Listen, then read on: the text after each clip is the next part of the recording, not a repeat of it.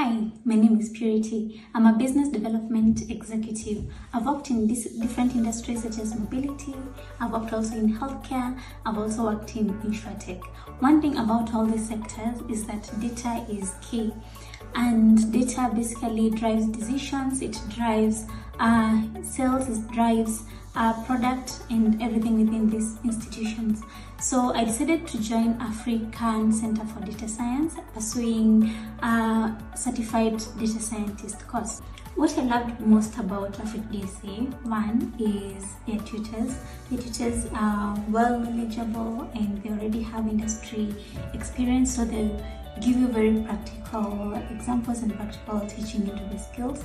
The other thing is that uh, being someone who had never done coding before, it was very easy for me to start from scratch because they start uh, everything from uh, introduction and you build up into the skills, and that was really uh, amazing on my side. The other thing is the flexibility of the classes, being that um, sometimes you're at work, sometimes you're at home, you could uh, be able to balance because they do have uh, morning classes, they have evening classes. So depending on your schedule, you can be able to plan yourself and attend uh, the classes.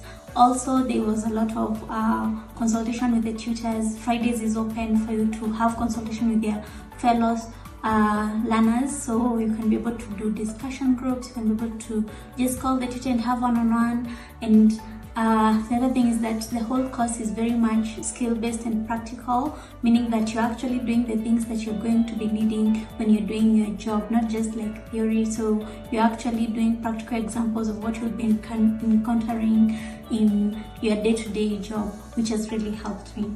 Uh, I'd like to encourage anyone who's thinking about getting into data science or wanting to up their skills in terms of uh, data analytics or data science to consider AfriCDSA as their partner uh, institution for the course.